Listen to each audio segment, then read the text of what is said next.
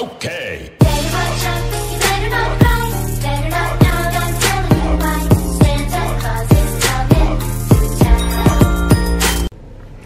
Hey guys, welcome to another video. It is Peyton here.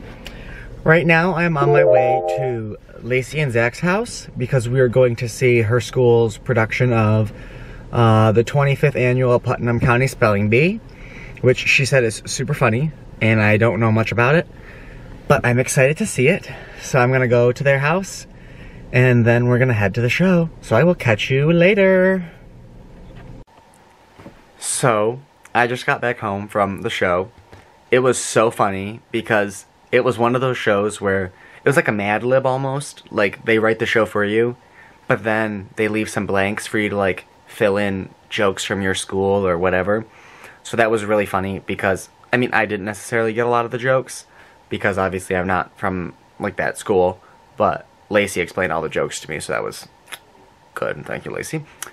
Um, but it was pretty funny. There was a lot of funny jokes, a lot of political references. Um, talked about Mexicans. They talked about the boomers. Oh my god, the baby boomer reference joke now.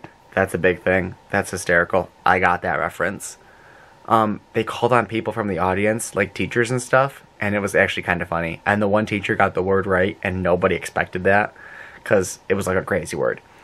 Um, but it was actually a good show, and I'd love to see it again because it'd be different every time you see it. And I mean, you just wouldn't even know what to expect. So that was fun. So, tomorrow I am also going to be going to a, another show. This is going to be a three show weekend for me.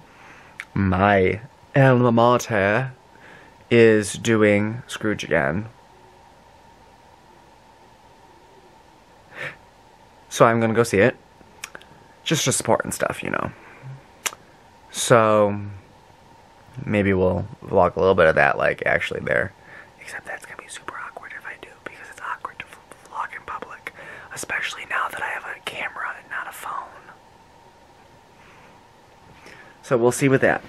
Also, I may have a big announcement coming up. So stay tuned for that. Oh, okay, so I'm also back. I totally forgot to add this in. So, because they could kind of like create their own characters, one of the characters in the show was based off of a girl I went to school with. And it was so funny because no one like really liked her. So they kind of just like parodied her. And it was like her name, but different last name and stuff. And it was so, so funny.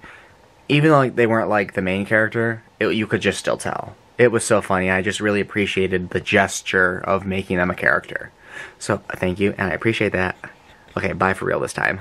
You're a mean one, Mr. Grinch. You really